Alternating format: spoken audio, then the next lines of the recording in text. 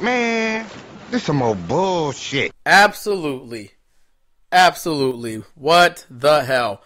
MCZX here. I got some breaking news for you regarding Neville. Apparently, Neville may have asked for his release last night and may have walked out before last night's episode of WWE Raw. This is not good. You remember the last guy who walked out or didn't even show up for Raw was CM Punk, and we know how that story ends. So, hopefully, hopefully, this isn't true, but it's a rumor. It's a rumor. The reason I may think it's real because of the source. Pro Wrestling Sheets Ryan Satin. He hasn't been wrong. He hasn't been wrong. He's been spot on for 98% of the time. Uh, he said a Twitter account using the handle Russell Votes tweeted today that saying Neville quit, and most people we've spoken with have backed that, but nothing's been officially announced or confirmed at this point. It was also noted that the release requests aren't immediately granted so it could happen, but may not be official yet.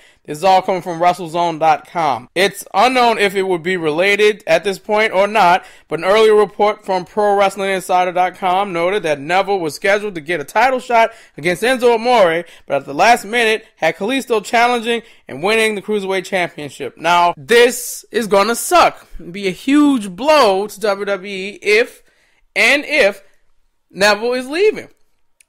I'm having a problem with WWE getting world class talent and underutilizing them. Don't pull a TNA. You're the number one wrestling company in the world. I know you can screw up sometimes, but you shouldn't be screwing up when you get these guys in here. You should be pushing them to the moon and make them happy, not have them lose to some rat face by getting kicked in the dick. That's not fair. It's some old bull, and I, I don't like it. It's it's not cool. Could you imagine if Kenny Omega came to WWE during that Royal Rumble and probably doing a, a sweeping gimmick because he's the cleaner, or he'd be Mr. Clean, Kenny Omega? Could you imagine that? Or something just as worse. Have Marty Scurll be uh, a doctor. Look at Gallows and Anderson. Look at Gallows and Anderson. They're my favorite example. There's a, they're a world class tag team and they're jobbers. Kanellis is a jobber. Bobby Roode's weird now. Shinsuke Nakamura is not even the king of strong style anymore.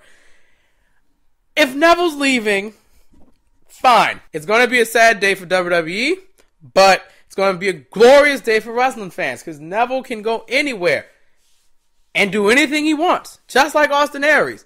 Can't believe they screwed up Austin Aries, but they did. And it's depressing to know that the wheel's just going to keep on turning. Nothing's going to change. CM Punk said it best. It's just a cog in the wheel, and the wheel's going to keep on turning. And that's what's going to happen. But, guys, I'm going to go back to watching SmackDown Live now. Neville may be gone, but it's just a rumor. Take it with a grain of salt. See ya later for the SmackDown Live rundown. Bye.